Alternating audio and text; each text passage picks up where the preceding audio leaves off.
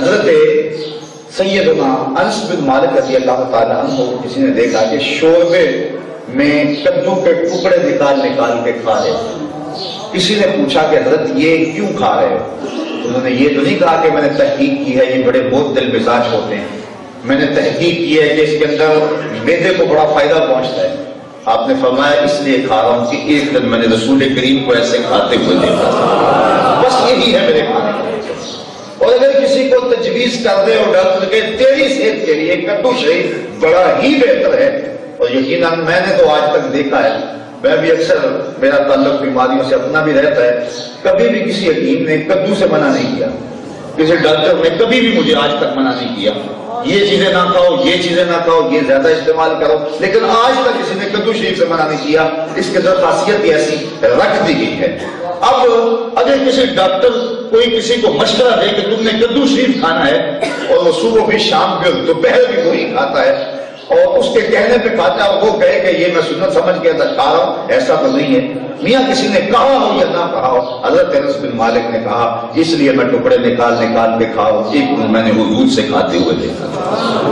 अब जब वो हिम्मत सामने आ जाए अब कोई इस्तेमाल करे तो फिर उसको वो अजर तो नहीं मिलेगा।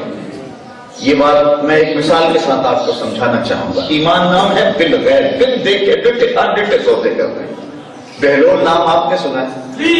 वो मजजूब अशखास में से एक शख्स था। और ये मजलूब शख्स को कहते हैं जिसका तजलियात के वफूद से शीशा अकल टूट जाए। और फिर वो आगे ना चल सके वही रुक जाए। उसकी कैफियत ये होती है कि अल्लाह ताला उसकी बोलता भी नहीं है।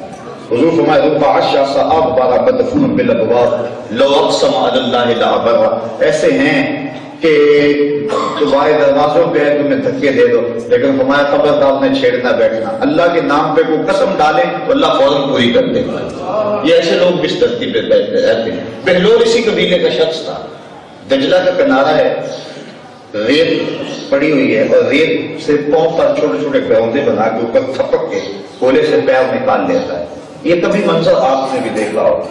हम भी बचपन की राहों से गुजरे हैं, आप भी गुजरे हैं। तो क्या कहा था इकबाल ने? मालूम है मुझको तेरे अहबाल के मैं भी मुद्दत हुई गुजरा था इसी रात गुजर से। मैं भी गुजरा हूँ आप भी गुजरे कभी वो छोटे बच्चे होते थे हम, वो भी क्या हसी जमाना था क्या खूबसूरत दिन थे। और क्या लड़कपन था।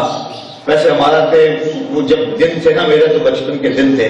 तो उन दिनों के अंदर हमारे उस बस्ती के अंदर हजूर के निज़ाम की बहारें थी।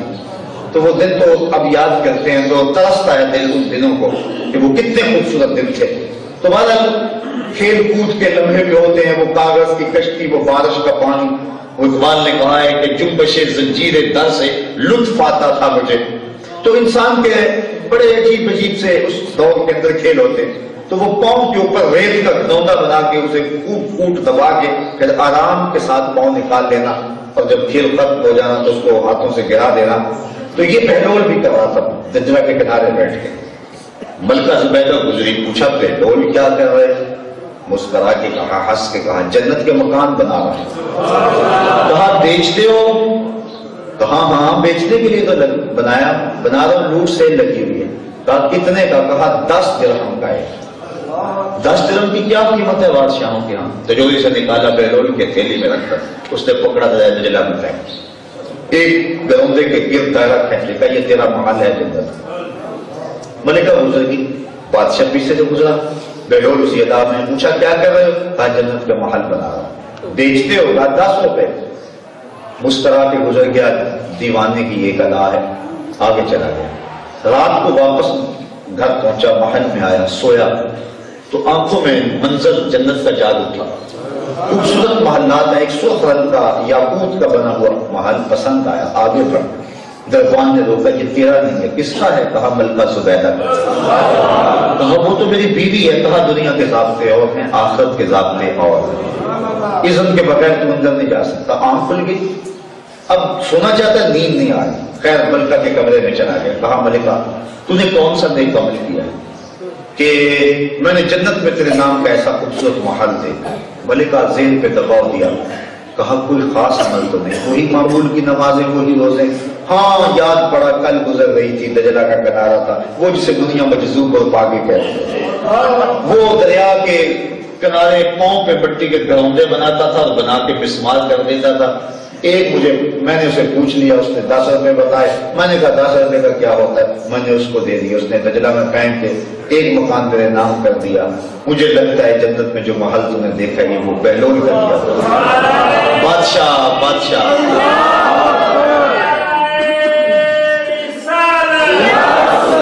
बादशाह बड़ा पछताया।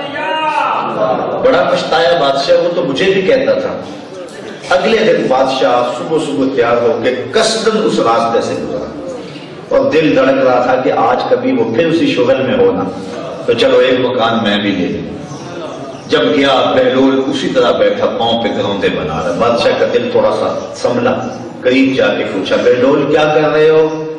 दिल में आरज़ू थी कल वाला जवाब हो। कहा, जन्नत के महल बना कहा, बेचते हो? कहा हाँ बेचने के लिए बना रहा कहा कितने का, कहा, आधी हुकूमत लगेगा कहा, कल तो दस रुपए का बता रहा था।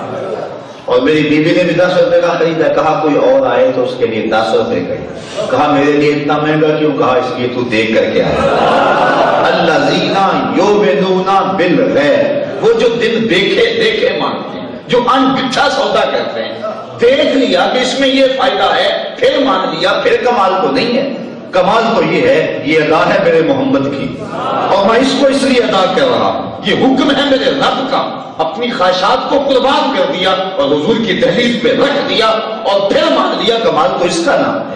अल्लाजीना यो बिल है जो अनडिठे सौदे करते हैं तो वो है ईमान की बहार साहिबो, आज मैं और आप ईमान ईमान तो करते हैं, दीन दीन तो करते हैं। बात तो ये है, आइए मैं और आप अपने आप की ज़िंदगी का एक एक लम्हा हजूर के राहों पे गुजार दें और देखें हजूर की अदाएँ क्या है, हजूर का तरीका और हुक्म क्या है, मेरे रब का फरमान क्या है। फिर दाएँ बाएँ ना देखें कि मुआशरे के चलन क्या है। हालात क्या है?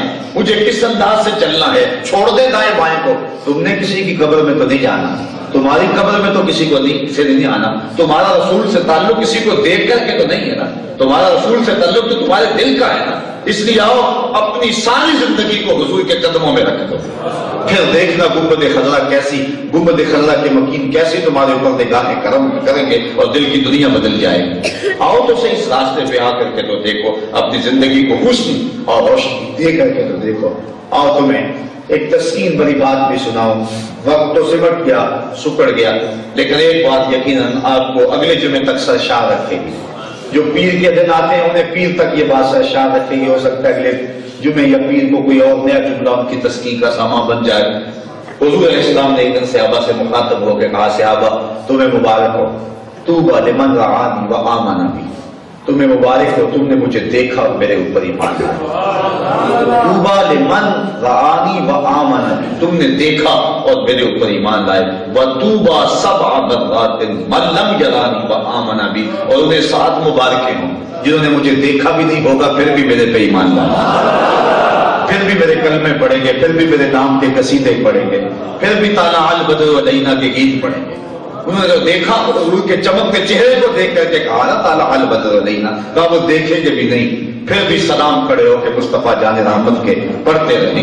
तो फरमाया, तुम्हें तुम्हारे ईमान की एक मुबारक, यानी नफ्स ईमान में सहाबा का जोड़ नहीं है, वो सहाबी के ईमान को कोई छू भी नहीं सकता है। लेकिन यहाँ मुबारक हजूर ने दी है कि तुम्हें तुम्हारे ईमान की एक मुबारक और जो जिन्होंने मुझे देखा भी नहीं होगा और मेरे ऊपर ईमान लाएँगे, कहा उनको नफ्स ईमान की सात मुबारकें हैं।